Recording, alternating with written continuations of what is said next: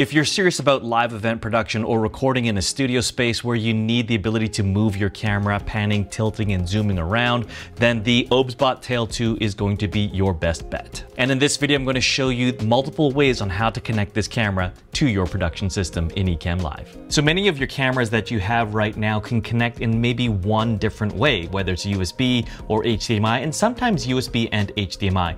Now the Tail 2 can connect by both of those methods, however, they may may be limiting depending upon the length or the distance that you need between your production computer system and the Tail 2. So in terms of USB, the maximum connection for a good quality connection on USB 3 is going to be about 10 feet or 3 meters.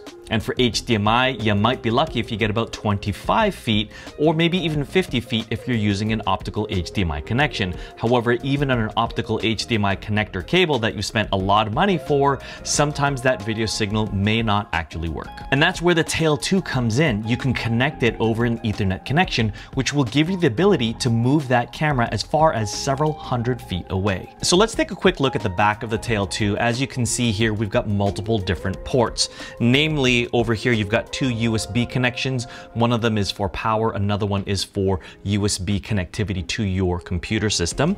The LAN port here, which not only just accepts a LAN connection of a gigabit, as well as it is a PoE connection. So if you have a PoE plus or power over ethernet network switch uh, and connectivity, then you can power the camera as well using this ethernet cable. Over here is an SDI connection, which is used for more high professional productions and equipment and gear gear. And on the back here, you've got your fourth connection option here, and that's an HDMI video port. Now at the bottom here, you've got two connectors for PTZ controllers that will be inline or serial connections to the camera system, as well as two different audio inputs. One is a microphone input, and then the other one is a line input.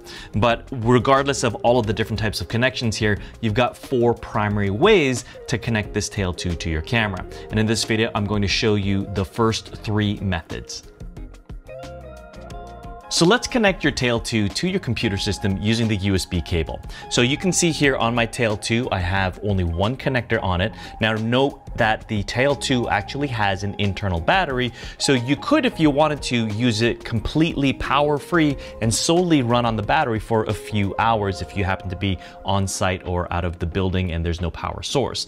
Now there are other ways to power the Tail 2 and keep it charged up. So the first one is by connecting another USB power cable to the top USB connector on the back of the Tail 2. And then another option is by using a power over ethernet connection. So if I connected this cable into the ethernet port on the back of the Tail 2, what would happen is the Tail 2 will not charge while it's on, but it will use the power coming from the ethernet source.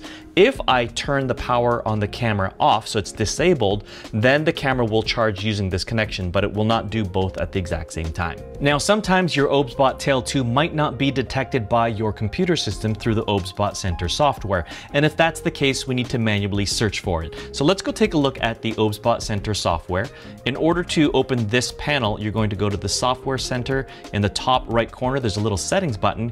Click on that and a new window will open. Now you can see that that it is already detecting my tail 2, uh, which I call tail right, but I do actually have another couple of tail 2s on the in the area, but they're not connected. So for me to do that, if you're not seeing any tail 2s connected, click on add device, click on the hotspot option, and then click on next. It's going to search the Bluetooth connections from any of your OBSBot tail 2 cameras or other OBSBot cameras on the network. And you can see here, I have a center and a left camera as well. So if I wanted to add the left camera, I can go ahead and click on and select and then click on connect. But I don't need to do that right now because I can see that I already have this camera over here detected on the tail here.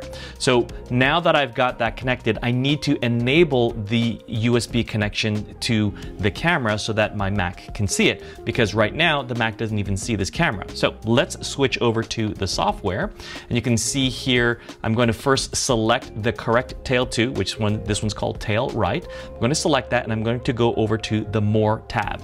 Now in the More tab, you can scroll down a little bit and you'll see here under the Output option menu, there's UVC mode, NDI mode, all those things. UVC mode is currently disabled. And essentially I need to enable that first in order for my computer system to even detect this as a camera source. So let's go ahead and click on UVC and you can see here it says enabling UVC mode, the device will disconnect and reconnect. And when you're using UVC mode, you cannot use any of the other connections for NDI, RTSP, and SRT. So let's go ahead and click on done. And it'll take a couple of seconds for the camera system to kind of reboot itself and start working. And in Ecamm Live, you can now see that this camera is available. So I can go ahead and create a new scene and switch over to that. So let's call this Tail 2 and the source is going to be the Tail 2 camera. So this is the Tail 2 camera and it's focusing on my friend Doc. Now what's really nice about using a USB connection for your Tail 2 is that when you're using really great software like Ecamm Live, link in the description for a free trial, then Ecamm Live can control the PTZ functions on the Tail 2 directly. So if you can see here, I've got this Ecamm Live interface. I'm gonna switch over to this Tail 2 camera and it's this box right over here that is appearing. It's a PTZ functions for this Tail 2. Now, if you don't see that, you can always go over to your camera switcher and go over to the top right section of that Tail 2. and you can see that it'll open up this box. And I can go ahead and use the zooming functionality as well as the pan and tilting for this uh, function. Now I can slow that down as well if it's going to be too fast, make it really slow and then I have better creative control over the direction of that camera. And with Ecamm Live, I can create multiple different presets. So I can have up to 10 presets for this camera.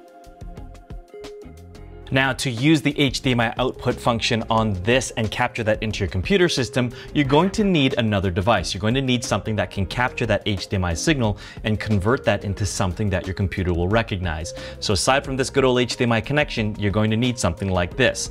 Now here is a cheapy $20 HDMI capture device which has a USB connection on the end.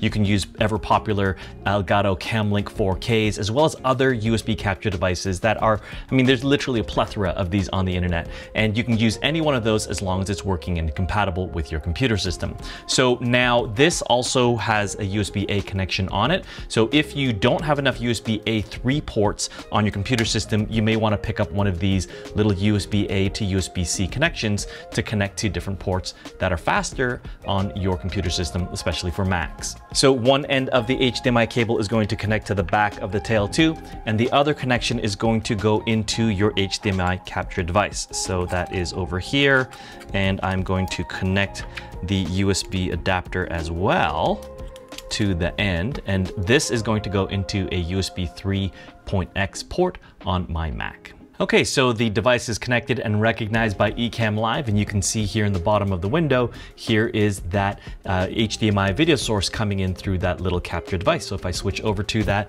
the exact same thing, here is the camera, and there is good old Doc doing his um, regular live stream. Now the HDMI connection does not need to be enabled. It is enabled all the time, regardless of what type of connectivity option you use for the Tail 2. So don't bother going into the OBSBot Center software enabling HDMI because it's on. Now, if you're like like me, you're kind of a little bit nerdy on the production side, think about it this way. Your Tail 2 can be connected by USB, by NDI, or SDI, and simultaneously you can use that HDMI output to output to a projector or maybe a television screen to be used as a confidence monitor.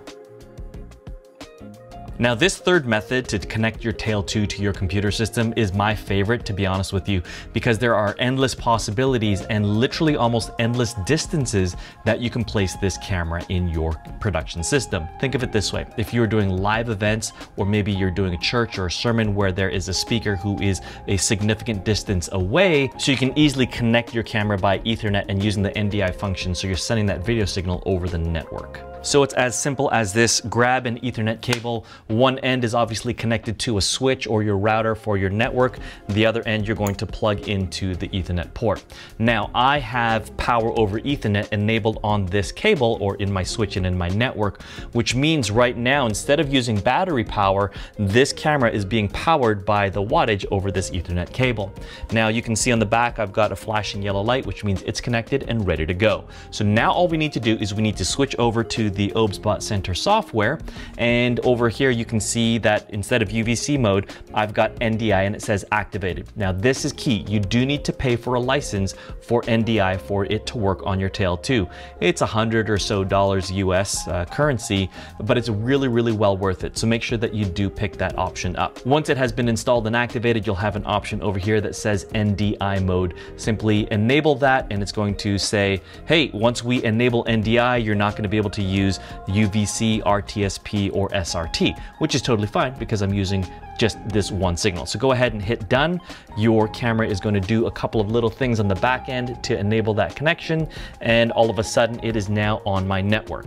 So over here, you can see in Ecamm Live, uh, it now has detected this tail 2. and all I have to do is to click start and all of a sudden it is now ready and available. So if I switch over to this camera, it's the now the NDI signal and it's very, very quick as you can see. So the same type of connectivity speeds or the delay or lag, if you want to call that, as the other different uh, connections for HDMI and U USB. And this is a really wonderful option, especially when you're having that camera at certain distances. Now there is a fourth way to connect your Tail 2 to your production systems. It's a little bit more advanced and does require some professional end hardware, but you can watch that video over here. And that connection is called SDI, which is used by a lot of professional systems where you have many, many different video sources, cameras, computer displays, and so forth. So go ahead, click over here, watch that. It's over here. See you there.